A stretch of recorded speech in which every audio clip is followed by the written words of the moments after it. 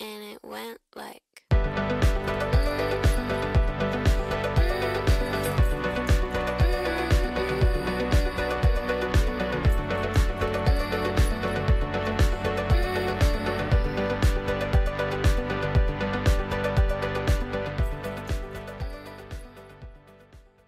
Dudes and dudettes, welcome back to the channel guys, and welcome back to the vlog. So, this video title I know is very unexpected, uh, for some of you at least, but it was premeditated, it's on purpose, it's been planned now for the past year, where I will be leaving YouTube for the foreseeable future, at least the next half year. All my content creation, vlogs, commentaries is now being directed towards short forms, so TikTok and IG Reels. So if you're not following me on those two platforms, make sure you do. My handles are down below. But uh, let me explain here because I'm sure I caught some of you off guard with leaving YouTube and not posting about my life anymore on this platform. So let's rewind about two years or so. I had this idea when I was in Germany that I want to inspire the next generation of footballers in a way that no one's done before, to provide just massive value, massive education, and of course massive entertainment to you guys where it'll be easier to make a decision on whether you want to play in college or not.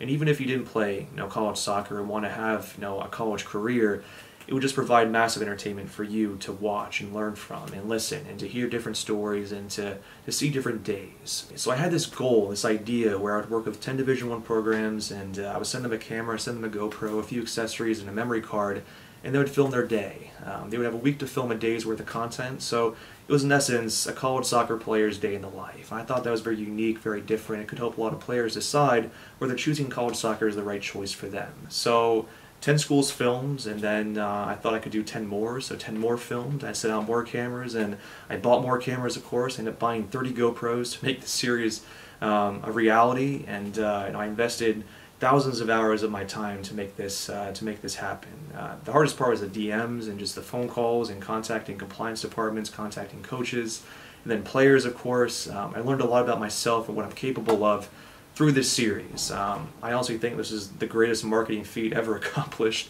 in American soccer history, where one person partners with 60 plus men's Division One programs to make a college soccer series happen. Um, no one's ever done that before that I've heard of. Um, so after two years, I ended up working with 60 Division One programs to film a day in the life series that covers the entire American soccer system at the collegiate level. Um, it's something I'm extremely proud of. I hope you guys learn a lot from it. Um, hope you guys you know, are inspired to pursue your, your career at that level if you do want to play college soccer. And for others that may watch the series, they may decide that college soccer is not the right choice for them. And that's the whole point of the series is to help players have a clear, concise line of whether pursuing this game at the collegiate level is worth it or not. And of course, just entertainment for some of you that don't play soccer, that don't want to pursue this game at that level. But if you guys take something small or big away from the series, um, no, I've done my job. The money was well spent. But some of you that are outsiders looking in are wondering why I spent 20 grand where I could have just invested in crypto or something and got a higher return. Why invested that much money on a series where I'm making no money from it. Of course, there's some ads on it, but it's all going to be copyrighted because the music I use is copyrighted. But what's the point? Well, I guess from a longevity perspective, uh, I'm looking five, ten years in the future always. It's never just the here and now. It's looking long term. When the entirety of youth soccer knows your name, knows your channel, knows your brand and what you stand for, and who shamelessly exposes the frauds and the fakes in this community, then you're ultimately going to create one of the best brands in youth soccer in the next decade. I don't care about the ad revenue, collaborations, and partnerships. Everyone else can sell out, and I'll see you in 10 years and take all the leverage.